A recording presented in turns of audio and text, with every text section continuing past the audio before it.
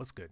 Today I'm going to show you how to export your waves, um, well your beat or your um, vocals. It's going to be a very very quick one. So in front of me I have a beat that I've made. All the elements are on the beat. I'm going to show you how to export from here. Um, let's get started. So I've got the beat.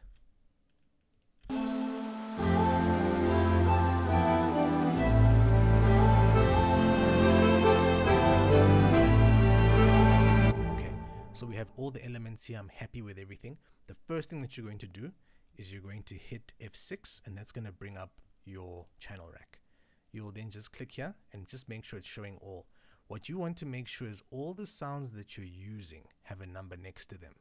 So you can see, well, with arcade, that's fine because I know I bring sounds out of arcade, but I don't actually have sounds playing out of arcade. Um, you'll see three rain um, samples that I had. I'm using rain window 11 so I don't need to worry about the other two. I remember that these were just um, I tried them and I think the samples were too small or something but that doesn't matter. You need to make sure that each one of these has a number next to them. The way you're going to do that is by hitting F9 it's going to bring up your mixer right? And your mixer is basically where all your sounds will go. So if I want something say I want one of those window samples to be here right?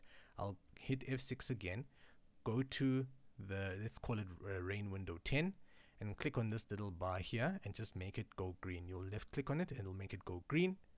Then you will go back to the mixer and go to an empty channel and then you'll hit control and L right? That's one way of doing it. Of now when you go back to your channel rack you'll see that rain window 10 has the number 13 next to it I'm just going to turn that back to nothing another way that we can do it is here manually. So if you go back to the um, the mixer, you'll see that channel 14 is open. Then what you'll do is you'll hit F6 again and go back to your sample.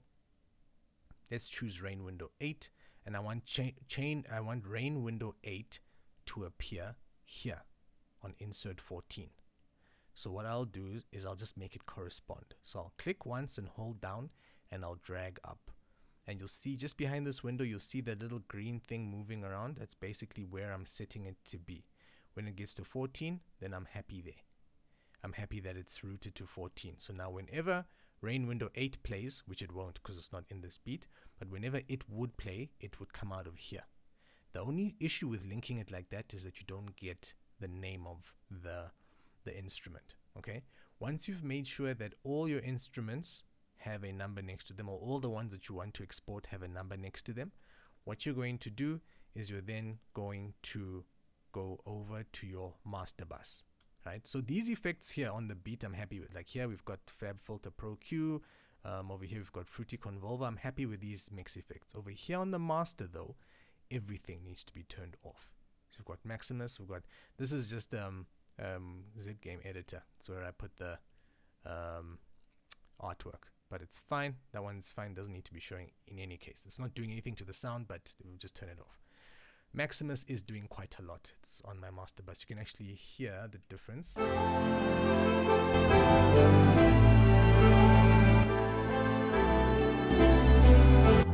it on and off, right? And we want, basically we want, um, we want whoever's going to be mixing this track to have as much um, control as they can. Now, let's go over to the export process. What you'll then do is you'll set your left and right locators. At the top here, you'll see where these numbers are. What you're going to do is you're going to go to the furthermost point in your track and right click there. It should look like that. And if you right click and drag, then it highlights it in red. Once it's highlighted in red and you know that you want your track, this is a bit far for me. I'm actually going to bring it back a little bit. Once you've got your locators set, that red area is what's going to export. Now we've done we've done everything we need to. We've made sure the master bus channels are off. We've made sure everything is linked nicely to the mixer. And then the last thing is we've set our locators left and right. So now everything's good to go. At this point, you'll then go to file. The beat's name's river. So I'll go export, wave file. Let's go to the desktop. I will then create a new folder called river and inside River I'm going to hit save it'll then bring you to this window just take a second. You can pause and just have a look at how I have my settings here. Um, what we're going to want is we want wave to be selected. That's the main main thing we want selected is wave and split mixer tracks. What split mixer tracks is going to do is it's going to create individual tracks for each um, element that you have in your mixer, as well as a master, um, a master wave file. So there's going to be a bunch of wave files that come out. Um, and then what you'll do is you'll hit um, start. When you hit start, it will start rendering, and when it's done, it will just dump everything in that folder that you've set, where I would have set it as river.